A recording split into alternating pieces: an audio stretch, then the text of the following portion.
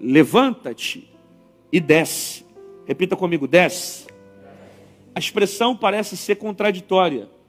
Deus manda levantar para descer.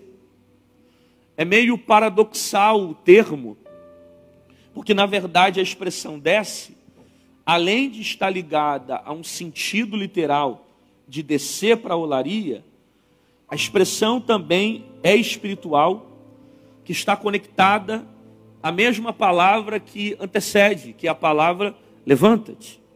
Se posiciona e desce. A maioria das vezes que Deus usou a expressão desce na Bíblia, é porque ele queria trabalhar com um elo de intimidade maior com o ser humano ou com alguém. Exemplo: Zaqueu subiu na árvore para ver Jesus. Mas quando Jesus chega próximo da árvore, o que, que Jesus disse? Desce depressa, porque hoje eu pousarei na sua casa. Para ver Jesus, já que eu sobe, mas para ter intimidade com Jesus, já que eu desce. Porque Deus não trabalha com ninguém subindo, somente descendo. Eu vou repetir isso. Deus não fala com ninguém que está subindo, mas somente que está descendo. Por isso que o Tiago diz que ele abate o soberbo, mas ele exalta o humilde.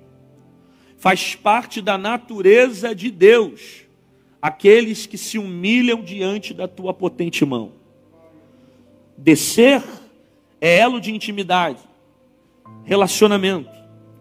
Toda vez que Deus quiser se relacionar com você, Ele vai querer que você desça, que você se humilhe, que você reconheça a dependência dEle, que você reconheça a grandeza dEle, que você reconheça o quanto que você precisa dEle.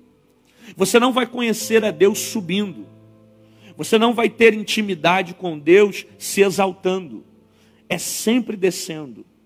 É sempre se humilhando. Levanta e desce. É intimidade.